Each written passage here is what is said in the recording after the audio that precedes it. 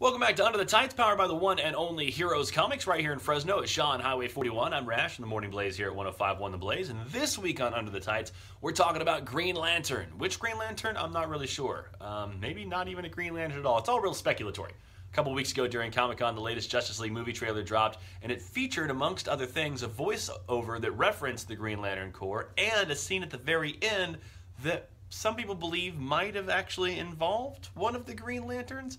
Uh, now, ever since this movie was originally announced way back when, there's been speculation as to whether or not the Green Lantern was going to be in it, because after all, the Green Space Cop is one of the original members of DC's Justice League. Superman, Batman, The Flash, Wonder Woman, Green Lantern, Aquaman are kind of the, the staples of, of the Justice League. And Warner Brothers did try to start this whole DC universe with a Green Lantern movie. If you don't remember, Ryan Reynolds Deadpool now did a Green Lantern movie that was was huge, huge uh, blockbuster budget and did not really do as well as people thought. They since scrapped that idea, didn't do sequels, and Reynolds moved on to do Deadpool movies. And a lot of people thought, well, maybe they're just going to move away from the Green Lantern altogether.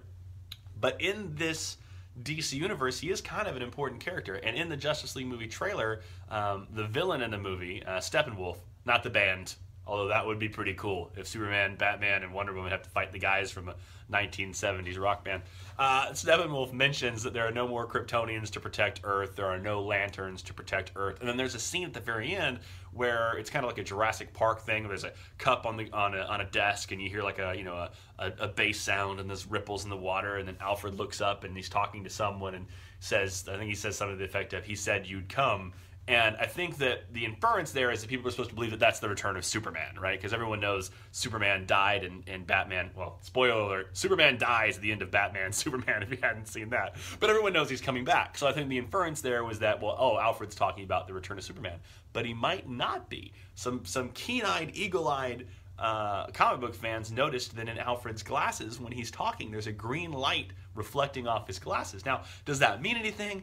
I don't know, but I kind of kind of believe the Green Lantern is going to be in this movie. It's a pretty good kept secret if that is the case. And if he is, I'm curious as to which version of the Green Lantern they're going to do. Now, my guess is that they would go with the John Stewart version of the Green Lantern, not John Stewart from The Daily Show. It's just a fortunate coincidence of names. John Stewart was actually uh, Hal Jordan's backup Green Lantern. He's a U.S. Marine from Detroit. Originally, he was an architect, but then they kind of retconned that after they realized the hell is an architect doing saving the universe? So they decided to make him a U.S. Marine who gets a, a Green Lantern ring and, and, joins the Corps. And eventually he takes over as uh, as the Earth Sector Green Lantern, Sector 2814, I think is where Earth is. Man, I'm a dork.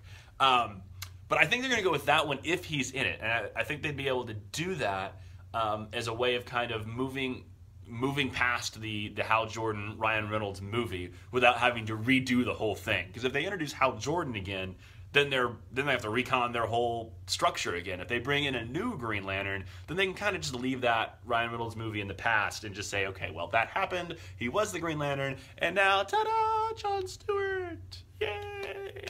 If you want to know more about the Green Lantern Corps, there are plenty of Green Lanterns, including Ch'p the Squirrel, personal favorite of mine. Maybe he maybe he's in the movie. I don't, I don't know. Head on down to Heroes Comics, talk to Dave. He'll point you in the right direction. Green Lantern, a very interesting character no matter which version of it you're going to go with. The, the original or the one I grew up with, uh, Hal Jordan, uh, John Stewart, Kyle Rayner was kind of the one in the late 90s, early 2000s as well. So, uh, very, very interesting storylines. And like I said, as far as the Justice League movie is concerned, I tend to believe the rumors on this one. I, I think that it makes sense. They wouldn't have.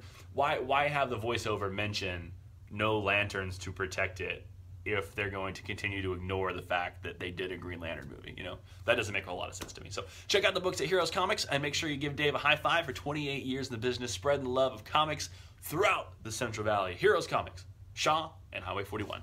Thanks for watching.